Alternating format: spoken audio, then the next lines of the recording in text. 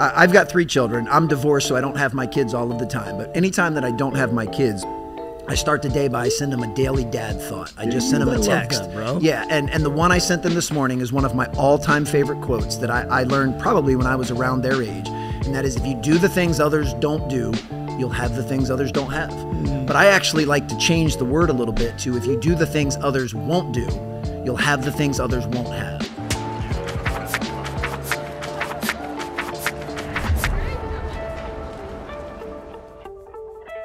If you're not getting the result that you want, then you need to make sure that you're putting the right inputs in. It just depends on your definition of consistency. See, most people, I believe it's time plus consistency will get us almost anything in this world that we want.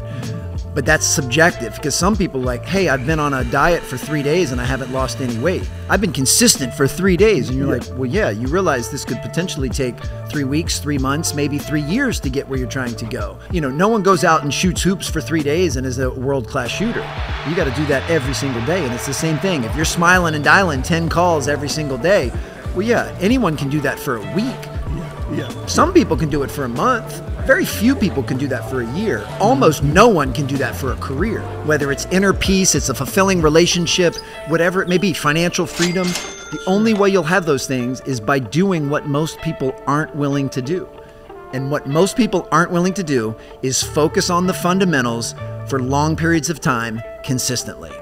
See, don't make the mistake of leading and selling and making decisions based on your mood, based on how you feel in the moment. See, as human beings, we have a constant roller coaster and ebb and flow of feelings and emotions.